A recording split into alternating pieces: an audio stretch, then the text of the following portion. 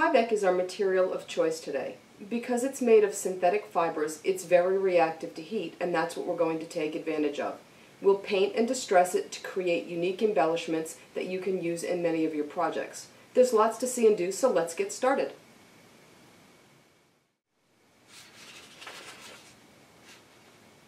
This is hard structure Tyvek and what we're going to work with today. It's Spunbond olefin, which is a synthetic material, and as I said in the open, that makes it very reactive to heat. Now we're not going to work with this plain white. What I've done is taken one of those sheets and I cut it in half, and I painted this with Lumiere Halo Gold Turquoise, I believe it's called. Let it dry, and what I want to show you initially is that when you apply heat to Tyvek, it's going to react in a fairly predictable way the heat is always going to push the bubbles out. That's probably the best way to think about it. I'm going to turn this over. I'm going to slide it between the sheets of this, um, this Teflon pressing sheet, and I'm going to apply heat to the back. What that's going to do is push the bubbles outward so that the rounded convex part is on the outside and will appear on this turquoise side. Now, I'm not going to press the iron down onto this. I'm actually going to hover the iron, iron over the Tyvek.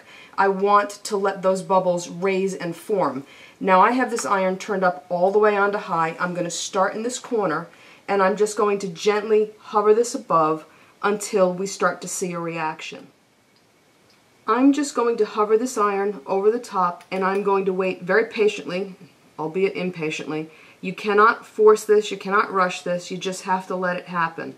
Um, what you have to do is let enough heat warm up the pressing sheet and eventually start to get down to the point where it's affecting the Tyvek. I'm just going to hold this still a second and let this do its thing.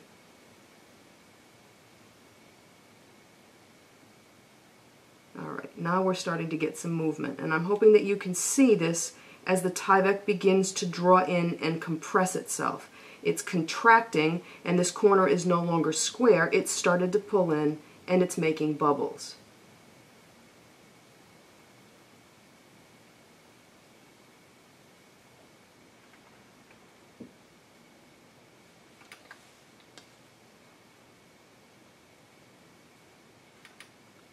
Now again, I've got to let this reheat, so it's going to take a moment before it starts to react. And remember, you're hovering your iron just barely over the surface. You don't want to press down or it's going to inhibit what the bubbles do.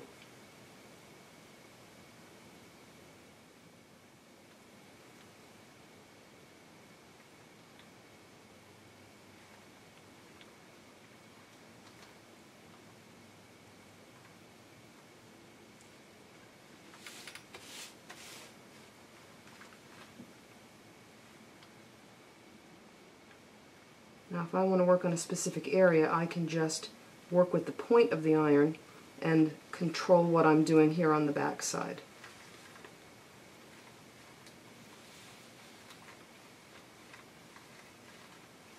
Alright, let's let this cool a moment and then I'll open this up and we'll, we'll reveal what the other side looks like. Okay, we can probably work with this now.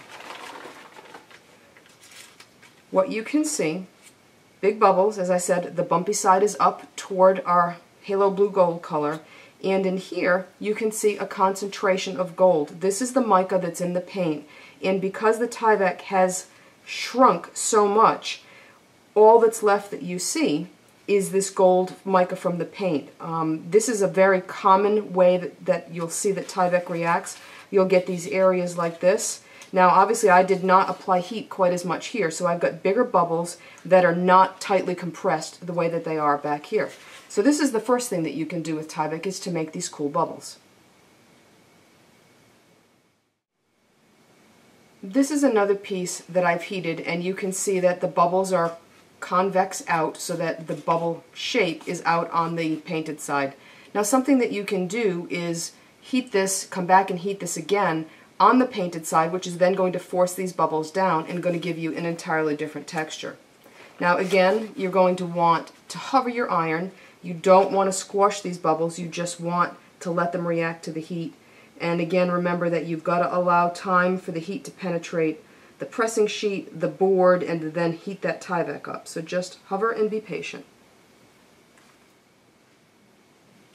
Alright, let's take a peek and see what this looks like.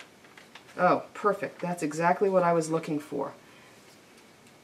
The bubbles are no longer bumpy up toward the pink. Now they've receded and they're actually bumping a little bit more toward the back. So you get a very different look than we did with this piece here. And I'll take still photos and you'll be able to see how different this is, but this is a really interesting effect as well. This is a piece that I've worked on. I've started getting the Tyvek to move. I've got bubbles forming here. Now I want to show you what happens when you deliberately leave the iron in one place too long.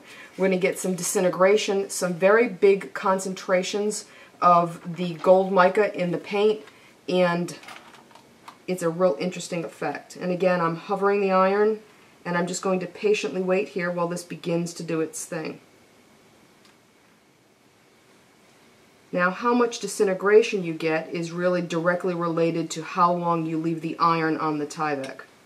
The more you leave it on there, you, the more the heat is eventually going to melt this off to virtually nothing.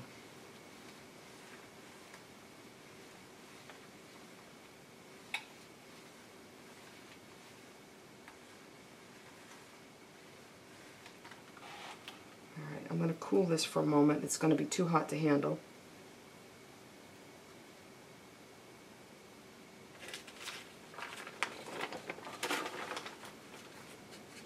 Now this is going to be, first of all, it's a little bit too warm, but this is going to be pretty fragile because so much of the Tyvek has melted away. But at this point, it's become very lacy, and you can see my hand behind here, and very open. So you can, if you were to stitch this onto a piece of fabric or onto another piece of paper, you could then come in and stitch by hand or machine. You could bead in there. You could do all kinds of really cool things to make a unique embellishment.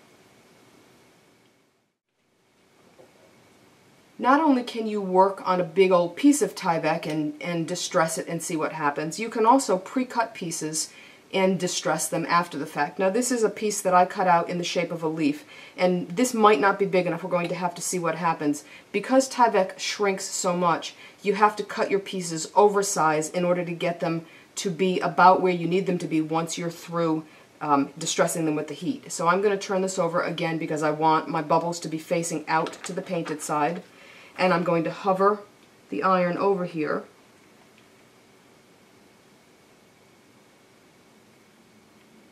and I'm periodically pulling this back so I can see what's happening. I don't want to distort this too much because once it gets going it tends to move fairly quickly and as I get into this pointed end because it's so small it's going to distress very quickly. And this is what I got after I distressed it.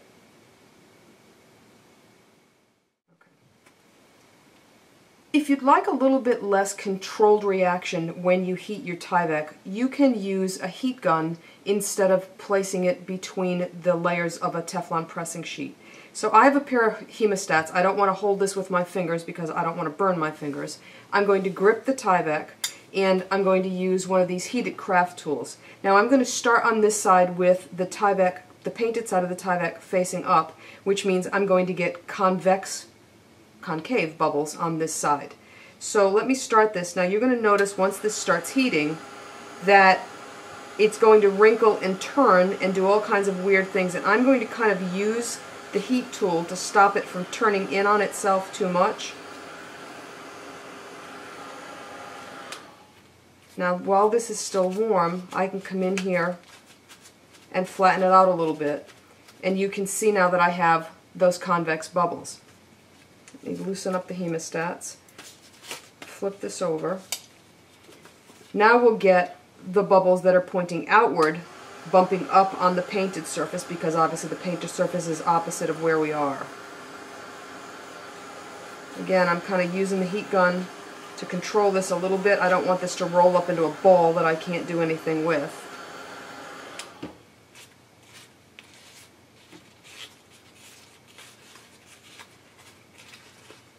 Now I can come back and I can apply a little bit more heat. I'm just going to hold this now with the hemostats like this. Again, I'm controlling that reaction a little bit.